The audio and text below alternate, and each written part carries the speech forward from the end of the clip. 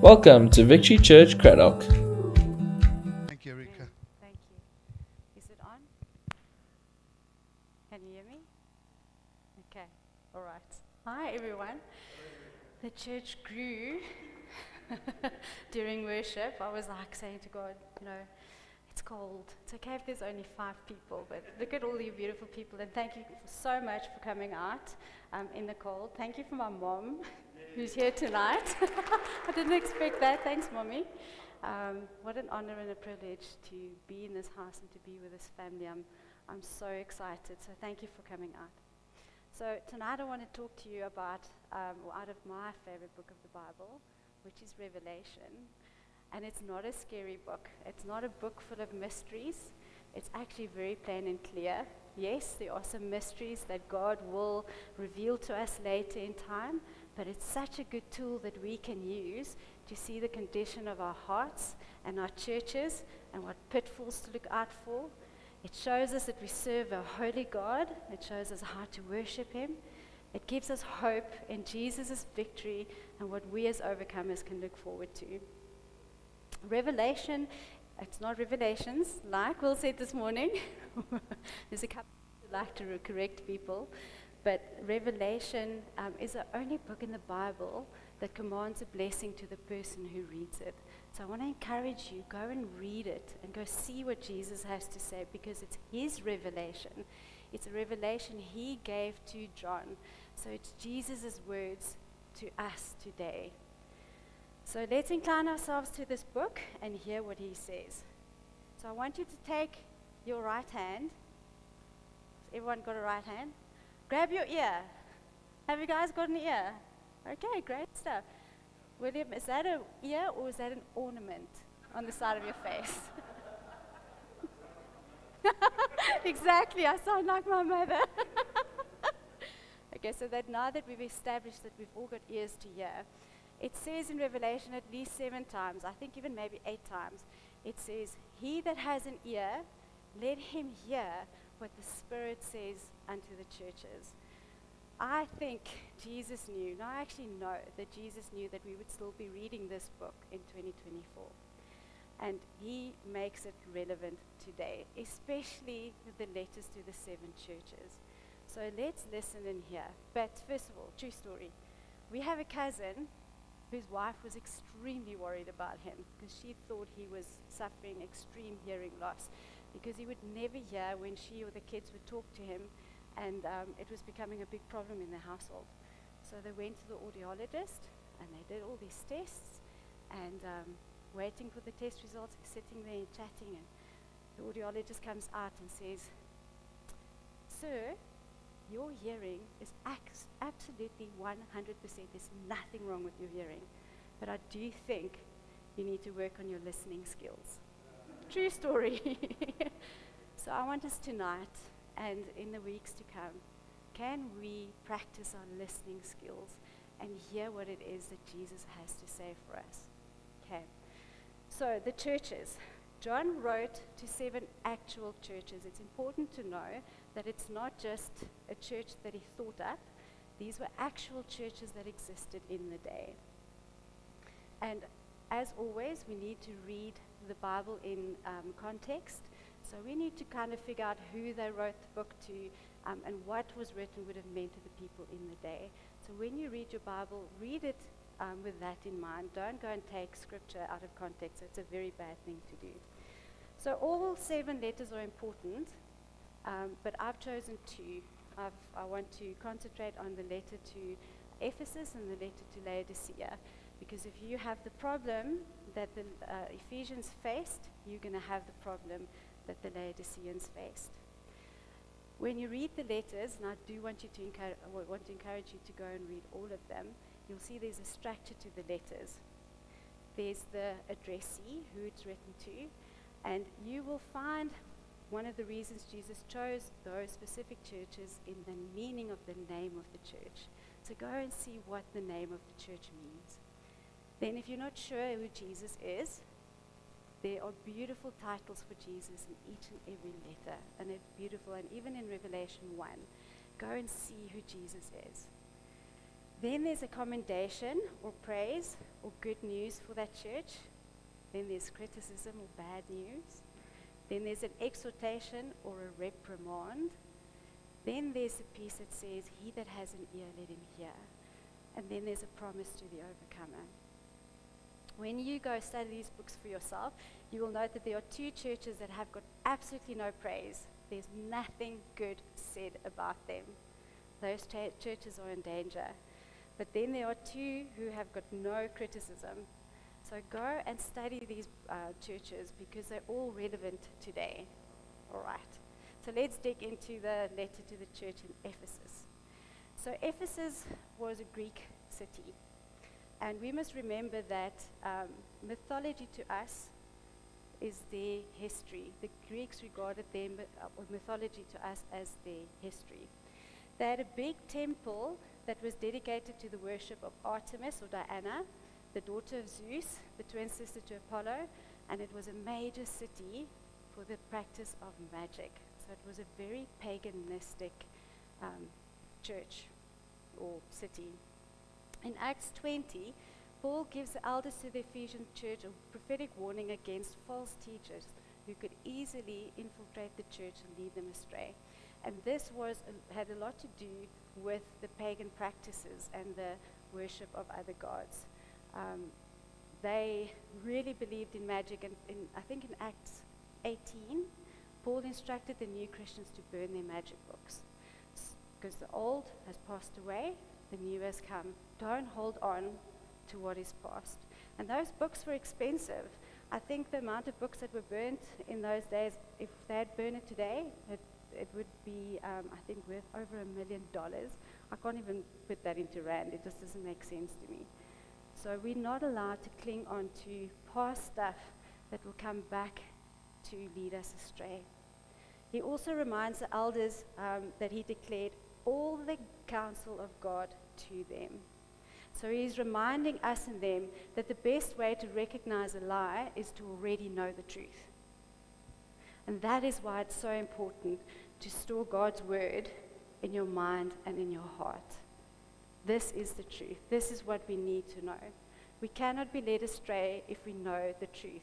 If someone's going to tell you a lie, trying to deceive you, your spirit's already going to go, ah, no, ah, that's not right. I know the truth. So the word Ephesus means desirable. It shows us that Jesus desires this church and he's calling her back. He's calling her back to him, and we'll see why.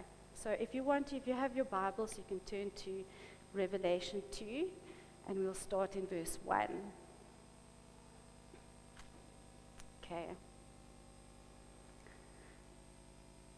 So it says, To the angel of the church in Ephesus, write, These are the words of him who holds the seven stars in his right hand and walks among the seven golden lampstands. Now, people don't know what that means, but it's really easy. The stars are the angels of the church, and the lampstands are the churches. Holding the stars in his hands means that he is in control. And walking among the lampstands means he's walking among the churches, as he still is today. He walks among us. Then in verse 2, he says, I know your deeds, your hard work, and your perseverance. He says to them, I know what you are doing. He's paying attention, just as he is today. He knows exactly what we're doing. He knows exactly who you are. He knows exactly where you're at. And then he goes on to say, I know that you cannot tolerate wicked people, that you have tested those who claim to be apostles but are not, and have found them false. You have persevered and have endured hardships for my name, and have not grown weary. So Jesus is pleased that they were very diligent in watching out for deceivers. They were dedicated to his word, and they did not let any heresy creep in. Then in verse 4, there's this scary little word. This word, yet, or nevertheless. So he's happy with what they're doing, but nevertheless, I'll hold this against you. You have forsaken the love you had at first. Ah, they left their first love. You see, they gave all their heart to the service of the king, but they completely forgot to delight themselves in the King. You see, the problem with the Ephesus church was that they had so much head knowledge, but they had no real affection. There was no love, comfort, or care for each other. They were spot on on their doctrine, but they lacked the love of Jesus. Years earlier, Paul says in Ephesians 1, verse 15 to 16, Ever since I heard of your strong faith in the Lord Jesus and your love for God's people everywhere, I have not stopped thanking God for you. So they had the love for people, but somewhere along the line, they lost it. And the issue is not what I was taught when I was little, is that we've lost our love for Jesus. That's not true. You lose the love of Jesus. You lose the ability to show people the love of Christ. And the warning that Jesus gives is not that they will lose their salvation, but there is something that they will lose. In verse 5, he says, Consider how far you have fallen. Repent and do the things you did at first. If you do not repent, I will come to you and remove your lampstand from its place. That's scary. What happens when you remove a lampstand? It becomes dark. So what Paul what Jesus is saying here is that they would lose their witness to the world. Their light would go out because of their failure to show the love of God to the world. How many churches today, how many of us are so focused on right doctrine, on doing church right, that we forget to show the world the overwhelming love and forgiveness of Christ the way that we were shown? So, what is it to love Jesus and to know his love? Love is the first named fruit of the Spirit um, in Galatians 5. Agape love is what we're talking about. And agape love is an unconditional love. It's a kind of love that we find in a marriage, and it's so beautiful. It's a kind of love where we can just be in each other's presence and enjoy each other. It's a kind of love where we genuinely care for each other's welfare and we are willing to lay down our life for another person. It's a kind of love where we are simply doing the dishes, taking the turn with the baby, making a cup of coffee, going to buy groceries just to make the other person's burden a little lighter. This kind of love is doing something out of kindness rather out of, than out of obligation. I don't want people to love me because they're obligated to. I want them to love me for who I am. And maybe I'm not the best I a- can be right now, but I want them to love me for the best I will be, the best Jesus is making me. Isn't that what we want from Jesus and from one another? It's a close, personal, tender love. So, love is this love is to expect the best of someone, to stick with them, and to refuse to give up on them. If you find that kind of love in a church, you know that church is where Jesus is. He doesn't give up on us. Can you imagine treating every person you meet with the love of Christ? And it's so beautiful, Jeannie shared two weeks ago.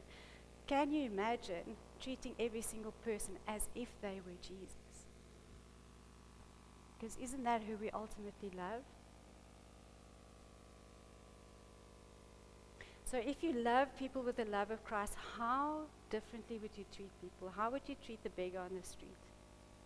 How would you treat that annoying coworker? How would you treat the person who deeply hurt and offended you? Would you treat them the same? So, our first aim is this to have a deep, close relationship and love with our Father, with Jesus, and with Holy Spirit. It has to be a love that is so close that we know God's heartbeat for ourselves and for others. It's a kind of love that I share with my husband. We can be in a crowded room and we can look at each other and we know exactly what the other one's thinking. More often than not, it is like, honey, I'm overwhelmed. I've had enough. I want to go home, wind it down. Five minutes, I'll get you in the car. That's me. And my husband's love is so kind. He knows that. And he does that for me. So the failure of the Ephesian church is a big deal, guys. Jesus instructs them to repent of their loveless condition. Change your mind about people. Change the way you act around people. If they do not, he will remove their lampstand and their witness to the world will be gone. Don't let your witness to the world be snuffed out. Don't get so offended by people that you don't love them. Good works without the love of Jesus, it's dead works. Perfect doctrine and doing church right without love, absolutely worthless. So I often say to people, be Jesus to someone. And I get these weird looks like, what, what, what do you mean? I simply mean that you need to love people with the love of Jesus and that you need to see them through his eyes and treat him, treat them the way that he would treat you or them. Now that that scary reprimand is over, he does have something positive to say. He says, But you have this in your favor. You hate the practices of the Nicolaitans, which I also hate. And yes, Jesus uses the word hate there are things that he hates. So no one is actually sure who the Nicolaitans were, but if we look at the meaning of the word, Nico means victor over or lord over, and Laos means the people. So it means to lord over people or to victor over people. So Jesus says that he hates it when someone lords their leadership or their knowledge or their I'm better than you in my faith over people. He placed pastors and teachers and elders and preachers and mentors in our lives to build us up, to train us up in the knowledge of Christ, and to equip us so that people can walk in the fullness of their calling. People, pastors, and priests and eldership aren't there to be revered. We are not here to follow people. If you are in a church because you're following William. I go to that church because I follow William because he's a great preacher. Or I go to life group because I follow Rion because he's funny and he makes me feel good.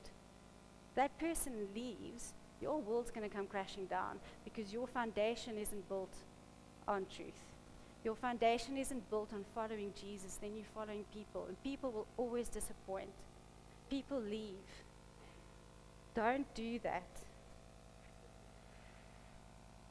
Then verse 7 says, Whoever has ears, let them hear what the Spirit says to the churches. Have you got an ear? Are you hearing? no, no, no. then he says, To the one who is victorious or to the overcomer, I will give the right to eat from the tree of life which is in the paradise of God.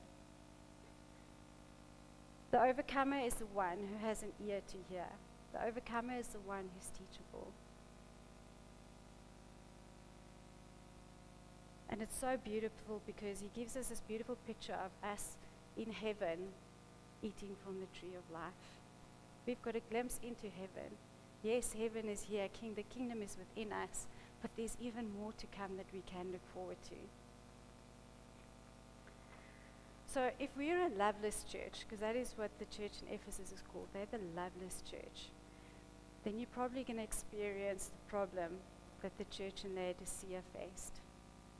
So let's turn to Revelation 3 and we read from verse 14. To the angel of the church in Laodicea, write These are the words of the Amen, the faithful and true witness, the ruler of God's creation. I know your deeds, that you are neither cold nor hot. I wish you were either one or the other. So, because you are lukewarm, neither hot nor cold, I am about to spit you out of my mouth. Jeez. That's a bit scary. So, background about the church in Laodicea um, they didn't have their own water supply. They relied on water from two nearby cities, um, Hierapolis and Colossia. I hope I'm saying those names right. Hierapolis was very well known for their hot springs. So the water that flowed through the aqueducts from these hot springs arrived at Laodicea at a lukewarm temperature.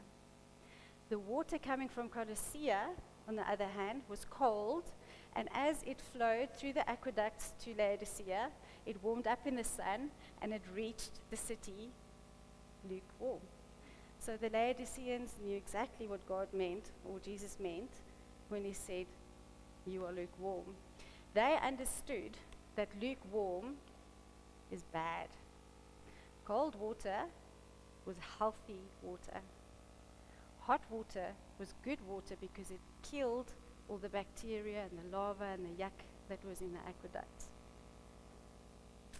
They knew lukewarm was bad. And did you know that lukewarm water at the specific lukewarm temperature is used to induce vomiting? That is why Jesus says, I'm about to spit you out. He's saying, I'm about to vomit you out. That's not good, guys. Can you imagine the shock and the horror for a church who knows very well what lukewarm is when they hear Jesus says, You lukewarm, and I'm going to spit you out? Jesus doesn't want lukewarm and half hearted people. He wants people that are on fire, that are hot, that can burn away all the yuck. Lukewarm people are dangerous people because they think that they're doing great and they're just sliding by, they're doing just enough. I've got my salvation, going to heaven, I'm good. Every now and again, I'm going to give to ministry just so that I've done my part. I'm going to be in church on a Sunday, but Monday to Saturday, I'm going to live in the world. Lukewarm's bad, guys. It's very dangerous. But let's read on. Verse 17 says, You say, I am rich, I've acquired wealth, and do not need a thing, but you do not realize that you are wretched, pitiful, poor, blind, and naked. So Laodicea was a very wealthy church. The, the uh, city was wealthy. They had a great banking system. They traded in very fine textiles made out of black sheep's wool. And they had a medical center and physicians that had made an eye ointment. There was apparently some other eye problem, and they had the cure for that. Um, so they were, were very well known for that. So this wealthy church made a big mistake because they thought that wealthy meant that they were blessed by God. But money does not represent God's stamp of approval on anything. They were very lax because all their physical needs were met and they thought they had it made. So today it might be one of those churches who's got like all the bells and whistles. They've got the best cafe, they've got the best barista, they've got the best worship team money can buy, they've got the best sound equipment, they've got all the bells and whistles. But Jesus calls them wretched, pitiful, poor, blind, and naked. In verse 18, he says, I counsel you to buy from me gold refined in the fire, so you can become rich, and white clothes to wear, so you can cover your shameful nakedness, and salve to put on your eyes, so you can see. Jesus totally contrasts their versions of wealth and prosperity. He says instead of gold, he will give them godly character refined by fire. Instead of the high quality textiles, he will give them pure white spiritual clothes, robes of righteousness. And instead of physical sight, he will give them the ability to see the truth. In verse 19, he says, Those whom I love, I rebuke and discipline. So be earnest and repent. Jesus rebukes and disciplines those who he loves. So if you get disciplined or reprimanded, it's never nice, but it's just a course correction.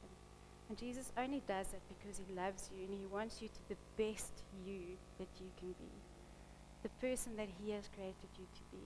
So don't be afraid of reprimand, but repent, change your mind, change your ways. Then in verse 20 he says, Here I am. I stand at the door and knock. If anyone hears my voice and opens the door, I will come in and eat with that person, and they with me. So Jesus doesn't give up on them. Jesus isn't withholding himself from them. He's standing at the door knocking. He's not yet inside the church, but he's waiting to be let in. He was once part of the church, but somehow something blocked him.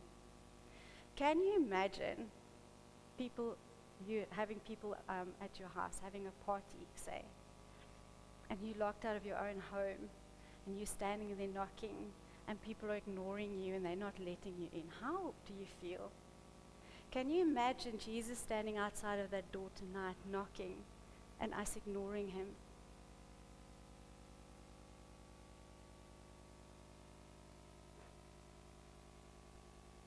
Jesus was shut out of his own church. In Luke 12, verse 35 to 37, he says, Be dressed for service and keep your lamps burning, as though you were waiting for your master to return from the wedding feast. Then you will be ready to open the door and let him in the moment he arrives and knocks. The servants who are ready and waiting for his return will be rewarded. I tell you the truth, he himself, that's Jesus, will seat them, put on an apron, and serve them as they sit and eat. All they need to do is open the door. He wants to come in and join and dine with them. Isn't that such an intimate and warm invitation from Jesus? There are people sitting here tonight, and Jesus is knocking at your door. Are you going to let him in? So, Laodicea means the rule of the people. So, the huge problem with this church was that the church was ruled by popular opinion, and that's why Jesus was shut out. They were not looking to Jesus as their leader, they were looking to people and what people wanted. We're going to draw the masses. What do the people want?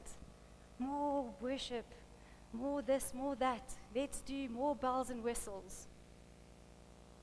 What are we allowed to preach on? What are we not allowed to preach on? What's your opinion? And we see this in many churches today.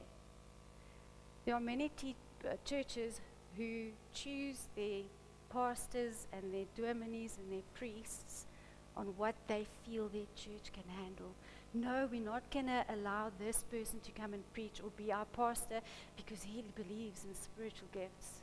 He speaks in tongues. Mm. No, we're not going to allow him to come here because we don't agree with him on this. The rule of the people. This type of church is a user friendly and easily compromises to please the people and the culture of the day. We don't want a user friendly church. We want a church based on biblical truth.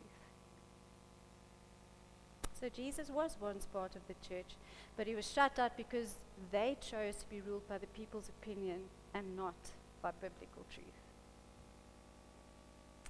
So, culture today is the belief in liberty and freedom and to do what makes you happy. Follow your heart, do whatever makes you happy. Jesus just wants you to be happy, man. Go do whatever it is you want to do follow your heart. No, the word says that our heart is the most deceitful thing. We cannot follow our heart. We have to follow Jesus. We have to follow the plan that He has laid out for us. And if we follow our hearts, where do we draw the line? That means we can just do whatever we please.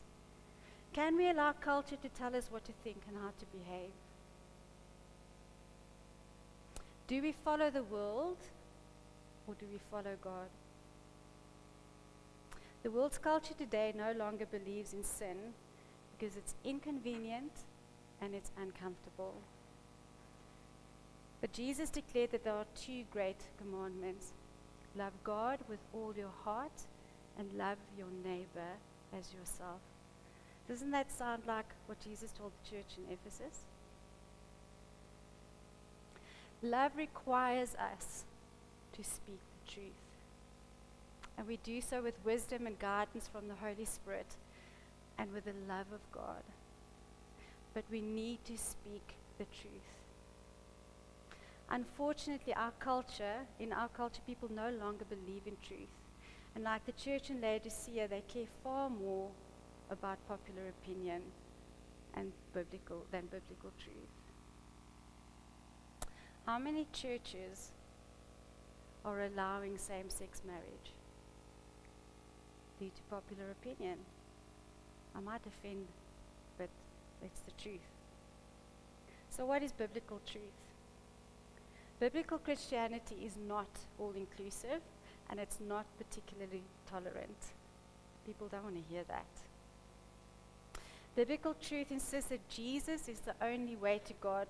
John 14, 6 says, I am the truth and the life. No one comes to the Father except through me. Jesus is the only way to God. No other way.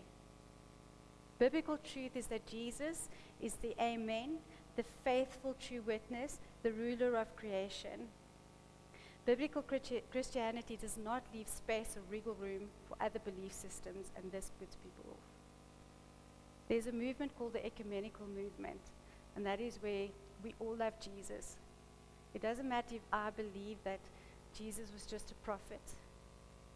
It doesn't matter if I believe I don't really need to believe that Jesus is the only way to God. We all get to the same God. That is an absolute lie. Jesus is the only way to get to the Father. Jesus is the only way for us to be saved. Biblical truth is Jesus forgiving an adulteress, but tells her to go and sin no more. And like William said this morning, it was so beautiful. Yes, we don't want to sin.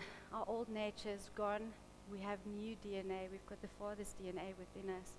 But we do fail sometimes. But the great news is that we have an advocate in heaven that pleads our case for us. And we're shameless and we're blameless and we've got God that says, not guilty. That's biblical truth.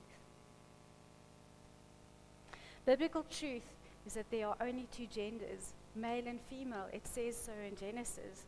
Biblical truth is that marriage is a sacred covenant between one man and one woman. Biblical truth is that we are in this world, but we are not of this world. That's biblical truth.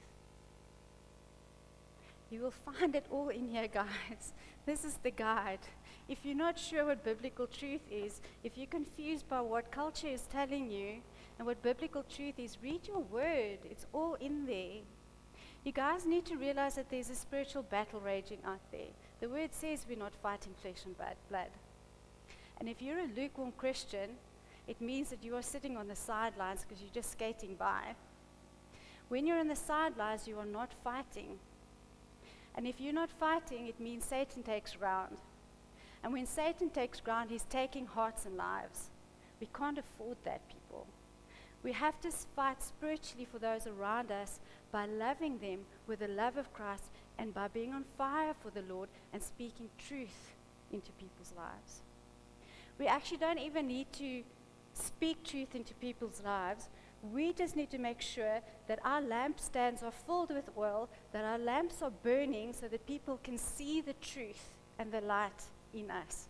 We are the witness to the world. Then we come to the promise to the overcomer. Jesus says, To the one who is victorious, I will give the right to sit with me on my, on my throne, just as I was victorious and sat down with my Father on his throne. Whoever has ears, let him hear what the Spirit says to the churches. Guys, we are seated in heavenly places with Jesus already. Remember, Jesus became human just as we are, yet he was sinless because he could see the beginning from the end. He could see straight into the throne room of God. And he knew that he was victorious. Guys, we know these things too. We have no excuse. We can enter boldly into the throne room of God just as Jesus did, and we can ask Him for wisdom and we can ask Him for help. We can ask Him to show us the truth. We can ask Him that these truth can cut deep into our heart to get all that messy gunk, lukewarm yuck out of our hearts. Because of Jesus, we are sinless and blameless before God. Jesus understands our battles. He overcame, and we are overcomers. He actually calls us overcomers, more than conquerors. He calls us victorious. So I'm wrapping up in closing.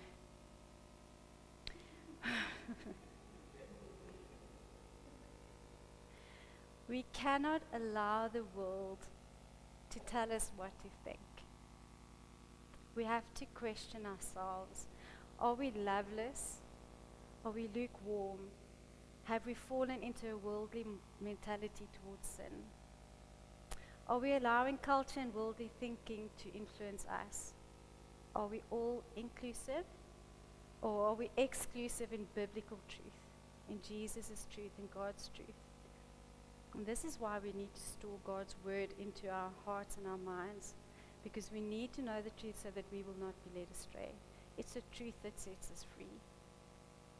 And we speak truth into people's lives with love. It doesn't mean that we shun people who aren't with Jesus. Jesus mingled with the lowest of the low. Doesn't mean that we need to set ourselves apart and not mingle with the people of the world. It just means that we need to be the light of the world. It means that we forgive. It means that we see them through the eyes of Jesus, that we love them with the love of Jesus. We don't condemn them, we don't judge them, as, as William said this morning. But we love and we pray that they will have a meeting with God, that they will repent, and that they will come to know Jesus as we do. The truth sets us free. We are all called overcomers, more than conquerors, and we are victorious. Say that with me. I am an overcomer. I am more than a conqueror. I am victorious. I am a truth bringer. We can only be these things when we have an ear to hear. And I want to ask you tonight are you hearing and are you listening? Let's pray. Thank you so much, Father, that we could come and we could just hear the truth that Jesus has revealed to us. Father, I pray that we will receive the wisdom and ask daily wisdom for us to have our lamps filled with oil, that we can be a bright, shining light in this world. Father, I pray that in the areas that we are lukewarm, that you will show us and that you will come and that you will reveal to us what it is we need to do to get rid of that, that we will be so on fire for you that the world around us can't but not change. Thank you that, Holy Spirit, you are the one who convicts and that we don't have to try and convince people of Jesus' love, but that we can just come and show love to the people who need it. We are called to be the love of Christ. So, Father, we just surrender tonight. And if you perhaps feel that you are lukewarm or that you have been loveless, why don't you just close your eyes and just repent of that? And ask Jesus to come and show you those areas where we're too scared to speak truth into our families and into our friends